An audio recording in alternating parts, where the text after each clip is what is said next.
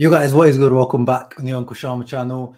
Inter three, Las Palmas nil. Another pre-season friendly and another pre-season win and another two goals from Mehdi Taremi, who is on the fire in this pre-season. But let's get straight into business before we review this game, which is the kits, the new kit. Of course, if you saw my reaction the other day to when the kit was released, I gave it a six out of ten. But as always, once the players wear it everything improves. And I saw the comments are already improving. A lot of the people that were not big fans of the kit already changing their mind a little bit. And you can see it here. What as soon as you pair it, the kit with the shorts, and I was talking about this, this kit, you have to look at it in a totality. The kit, the shorts, even the socks, as a totality, as a complete package. This is a nice kit now, seven out of ten together if you take it individually, if you take the shorts on their own, you wear them. You know, uh, some of the players were wearing it. Let me show you in the um, in the build up, in the warm up, with a nice new warm up T-shirt. By the way, I really like that's this one. But you see it worn here, and it just looks out of, out of place.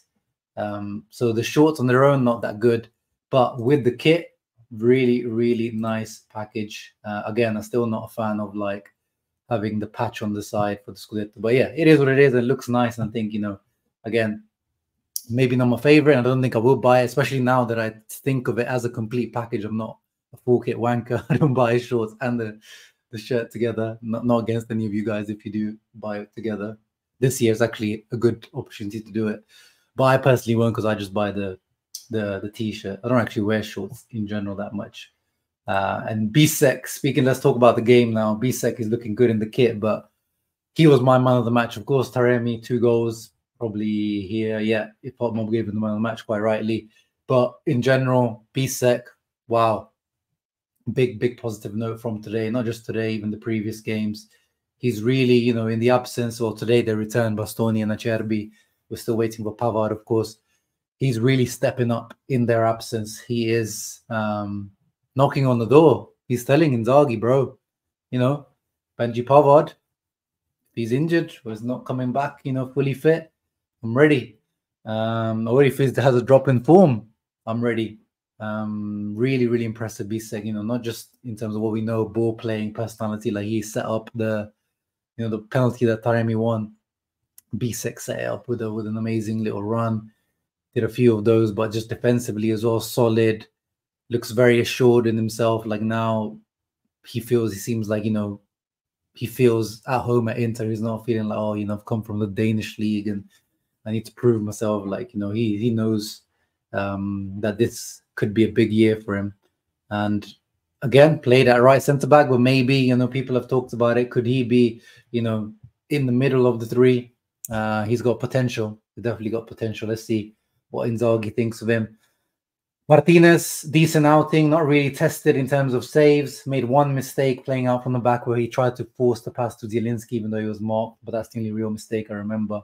Apart from that, he was good on the ball, uh, and he was good actually. A couple of times he come, he came out and claimed the ball really nicely. I really, really liked that. He was very uh, quick off the line, very, very quick off the line, which is nice to see from an inter goalkeeper because you know, uh, years of uh, after Samir Handanovic. That, that was never one of his strengths.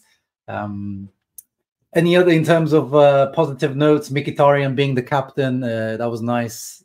You know, of course, the oldest player in this in this lineup.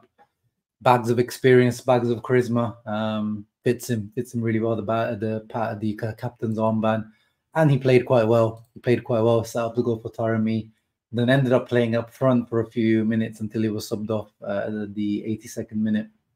Um, yeah, Zielinski's going to have a hard year trying to displace him. And speaking of Zielinski, um, good outing from him. Let's see if we can find a you know quick picture of uh, Zielinski with uh, with our shirt because um, he looked good in the shirt as well. Where is he? There he is. still, you know, getting to grips with things. Um, still looks like he's playing with a little bit of a handbrake on. Uh, needs to get into shape, but overall, decent outing from Zielinski as well. Uh, 95% pass accuracy. Some of those little cuts, cutbacks, and you know those little feints that he does, fake shots, like you know, really, really good to watch. But no end product as yet. Uh, Aslani, it's good to see if you if you watch him closely. I do I, every time Aslani plays, I do watch him very closely with a keen eye. Um, aside from his passing and stuff, he was very active off the ball. Like you can tell he's he's trying to improve off the ball. You know, he was good for Albania at the Euros, but we know if he wants to really stake a claim to Hakan's spot, he needs to improve off the ball defensively, duel winning, physically. He's trying. He's still, you know, on the lighter side of things. He's still, you can see, he go he goes really hard into a tackle, but he doesn't really move the, the player. You know, he he goes into the tackle and he gets moved himself, but you can see there's a bit more um aggressiveness, a bit more grinta about him when he's going into duels now, which is nice to see. So uh, he's slowly getting there. A nice free kick attempt. Um, he almost scored a good, good save by the goalkeeper. But yeah, overall, midfield was good. Um, controlled the midfield well. Kamate, given a low rating, yeah, he was nice. Um, you know, he's a winger by trade, and obviously he's having to play as a bit of a wing back here, cutting in with his left footed, so not ideal for him. But he's okay. But you know, he's definitely you can tell he's not really ready for Inter he's going to have to go out on loan. And, you know, if he is a winger winger, there isn't really a place for him in this team, unfortunately. Speaking of the same, Agoumé today kept uh, played again as centre back in the middle of the three. Um, but it looks like hopefully, but um, not Valencia, um, Sevilla are going to be pulling the trigger finally to sign him on a permanent. Last year he was on loan there was an option to buy for eight million they're saying they're looking to pay about five million, but you know, at this rate, you know, again, I feel sorry for this guy. I feel like he did deserve a chance, maybe not now that Aslani and Hakan are in this position, but you know, previous years. Um, but hopefully, yeah, he gets sold. But he's done well. He's done okay as centre back. And Correa, you even need the decent, you know. Of course, he had those few those brain fart Correa moments where he gets into good position and completely makes the wrong decision or somehow slips over or doesn't get the shot away. But overall, actually, he's working hard. But you know, he's not tricking us. He's not tricking Inzaghi. Hopefully, with his hard work and decent performances, because yeah, that's another one that just needs to be sold. Whatever happens. But yeah, speaking of Taremi, you know, um, surprised that yeah, actually didn't complete that many passes. But in general, he was good. Uh, hold up play, link up play was good. Of course, two goals, ice cool, winning the penalty and scoring the penalty straight down the middle, very very good. Um, and then the other one, a tap in from Mkhitaryan's assist. Nice, nice. Um, yeah, very, very good performance by the team. 3 0. Not really uh, challenged at all defensively, really, by Las Palmas. So I'm hoping the next few games, uh, let's have a look what the next few fixtures are because I do want Inter to be challenged a little bit more. Yeah, Pisa, uh, you know, Serie B team, not really what we're looking for. Al Ittihad, maybe, you know, Benzema Diaby, Houssem Aouar, um, maybe they can offer a little bit more of a, a challenge for us because we do need to, you know, up the intensity a little bit. And yeah, of course, Chelsea will be a good test before. Um, and yeah, Dimarco, what a goal, what a world class goal he managed to score. Uh, coming on as a substitute in the what minute did he come on? Let's have a quick look. I think he was like 70th something minute.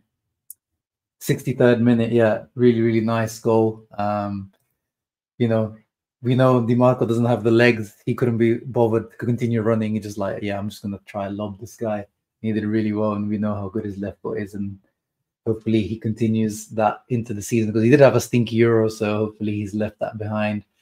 And it was great to see the big boys back. You know, Frattesi, Bastoni, Acerbi, Darmian, Barella, all the big boys are coming back. Of course, now we're just waiting for Benji Pavard and Lautaro Martinez uh, and Valentin Carboni. Yeah. Looks like he will be um, loaned out to Marseille. Um, Marseille going to pay us with that for, for that loan. They're saying potentially three, four, five million even, which is quite expensive for a for a loan of a guy like Carboni. But that money plus Agoumé, maybe Satriano, that money will then be used for Inter dream. I've talked to, to you guys about it for a while now. Gudmundsson. Um, it's quite easy to tell with Inter, like when the rumors start, you know, in April, May, who is the number one target for Inter. Because of the case going around Gudmundsson, there's not a lot of hype around him, a lot of talk about him, but that still remains Inter's target. Albert Gudmundsson from Genoa, second striker that, you know, ideally is the replacement to Correa and Alexis Sanchez to compete with Marcus Thuram. And that would really nicely iron out this team. Oh yeah, Fontanarosa was actually decent as well. I don't really rate him. I don't think he's Inter material, but he was decent, nice left foot. He actually uh, was part of the build up to Taremi's um, tap in goal with Mkhitaryan. Bakila's pre assist. Uh, nice run as well. Um, but yeah, another one that just needs to be loaned out and seeing, you know, in a year, and we can uh, we can judge him. We can judge him there. Um, but yeah, overall very good. Let's have a quick look at the stats. So actually quite surprising that Las Palmas had so much of the ball. We did um, control. I felt like we controlled it quite well, but I guess yeah, we just let them have the ball. And yeah, no, the center team, even without you know our starting centre back defense lineup, we're looking very very solid. Um, so continuing where we left off from last year, and yeah, next up we've got Pisa, um, Al and Chelsea. So let's see how those go, and hopefully Marotta, Ausilio, and Co can give Inzaghi a few more pieces to complete the squad. But yeah, you guys let me know down comments down below. What did you make of the kit, the full kit with the shorts as well? I want I want your rating now. I want your honest rating now. Um, now that we've seen it on the players, as I said, now my rating has moved up to a seven out of ten. Be Bisseck, my man of the match, but also great work from Taremi. Let me know in the comments down below. Any youth players that you're impressed by or that you want to see more of, let me know give a thumbs up, subscribe to the channel. Forza Inter.